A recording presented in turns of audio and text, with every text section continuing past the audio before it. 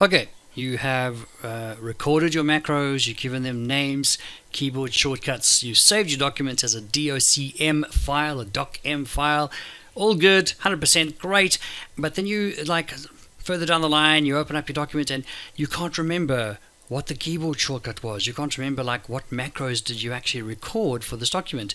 So what do you do? Well, you don't panic, all right? You go to your developer tab, you go to the code section over there, and you see over here there's a button that says macros. Well, let's have a look. So you click on macros, and that will show you the macros that are inside this document.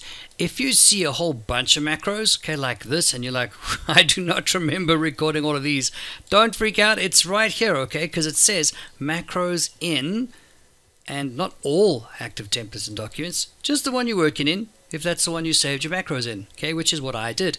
So just this document. And here I can see, oh, here they are. Here are all the macros I created.